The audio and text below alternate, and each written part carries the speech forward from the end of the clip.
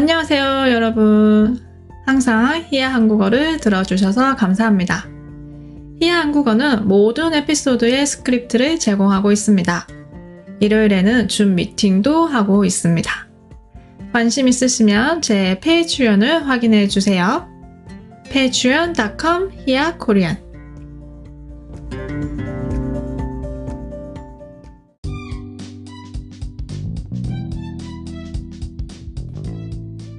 안녕하세요.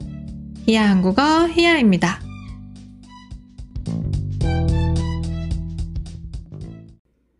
여러분, 지난 한 주도 잘 지내셨어요?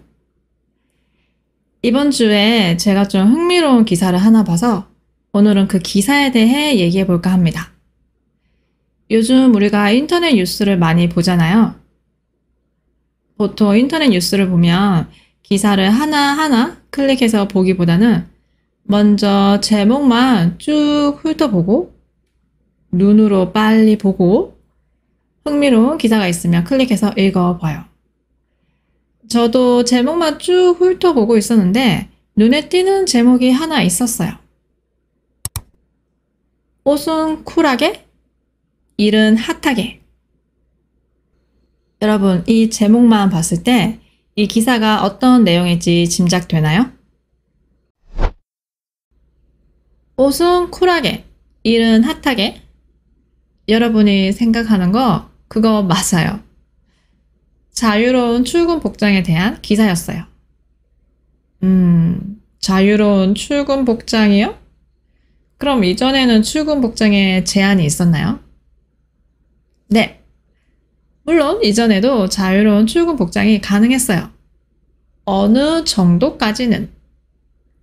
비즈니스 캐주얼 정도? 하지만 최근 들어 더 자유로운 출근 복장을 허용하는 기업들이 늘고 있다고 해요.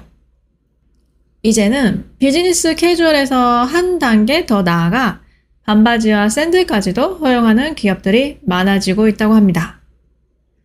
참고로 아까 제가 얘기했던 그 기사 전체 제목은 이거였어요. 옷은 쿨하게, 일은 핫하게. MG 직장인들 쿨 비주룩 입는다. 여러분 다 이해하셨어요? 이건 여담이지만 한국 사람들이 영어를 너무 좋아하는 것 같아요. 굳이 영어를 쓸 필요가 없는데 영어를 쓰는 경우가 많아요. 심지어 이렇게 신문 기사에서도요. 여기에서도 옷은 쿨하게, 옷은 시원하게, 일은 핫하게, 일은 열심히라고 하면 되는데. 최근 들어 기업들이 자유로운 복장을 허용하는 자율복장 제도를 적극적으로 도입하고 있어요. 근데 자율복장 제도를 적극적으로 도입하는 이유가 뭘까요? 우선 날씨. 연이은 폭염에 기업들도 에너지 절약을 위해서 시원한 복장을 허용하고 있다고 해요. 그렇죠. 반소매, 반팔 티셔츠나 반바지를 입으면 체감 온도가 낮아지겠죠. 그리고 더 편하게 더 시원하게 입으면 업무 능률도 오를 수 있고요. 여기에 한 가지 이유가 더 있어요. 이 기사에 따르면 조직 내 MZ세대의 비율이 늘면서 창의적이고 개성을 존중하는 유연한 조직 문화를 만들기 위해 이런 자율복장 제도를 도입한다고 합니다. 자율복장 제도에 대한 직장인들의 반응은 어떨까요? 당연히 대다수는 환영하는 분위기예요. 특히 남성분들의 반응이 뜨거운 것 같아요. 반바지 입고 출근해보니 너무 편해서 계속 입게 되더라고요. 다만 아버지께서 보수적인 금융권 회사 출신이라서 부모님은 이런 저를 보고 처음엔 좀 혼란스러워 하셨죠. 반바지 입고 출근하는 저를 보고 어머니께서 넌 회사 안 가고 어디 놀러 가니? 하시더라고요. 한때는 반바지 매력에 푹 빠져서 월화 수목금 색깔별로 입기도 했어요. 그리고 반바지 입으면 다리 털이 신경 쓰여서 제모도 했고요. 이제 그렇게까지 하진 않지만 반바지 출근이 자연스러운 일상이 됐어요. 비 오는 날에는 샌들 신고 출근하면 신발이 안 젖어서 너무 좋아요.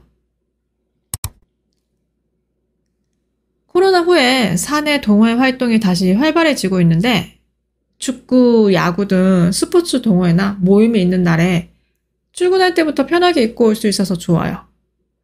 그리고 사내 동호회 활동을 하면서 결과적으로 동료들하고 소통도 더 잘 되고 있는 것 같아서 만족스럽습니다. 그리고 이런 반응도 있었어요. 요즘은 다들 세련되게 코디를 잘해요.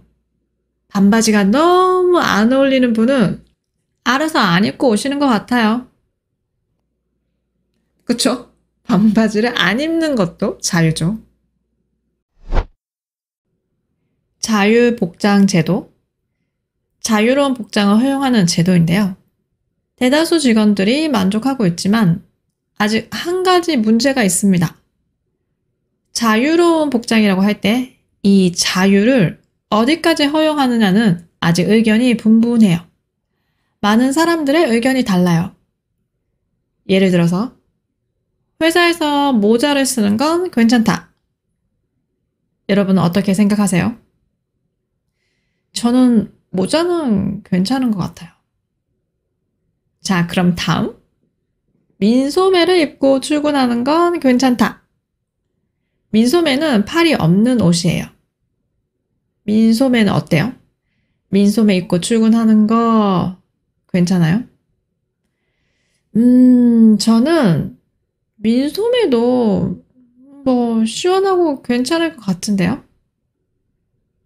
자, 그럼 다음은 이거는 조금 고민될 수 있어요.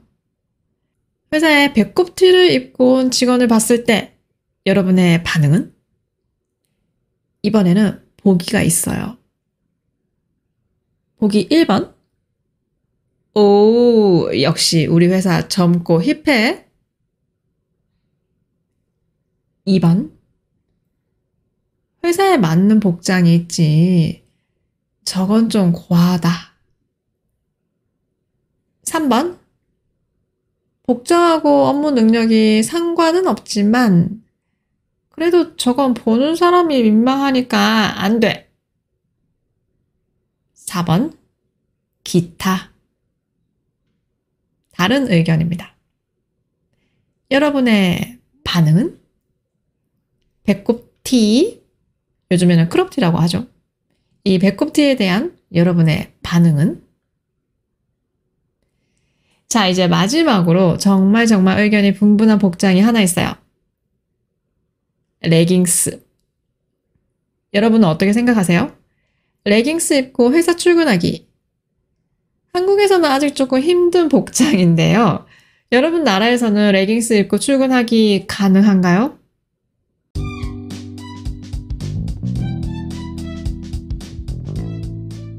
오늘은 자율 복장 제도에 대해 얘기해 봤습니다. 오늘 에피소드가 좋았다면 좋아요, 구독, 팔로우 꼭 해주시고요.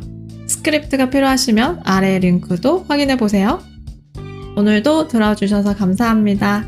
다음에 또 봐요. 안녕!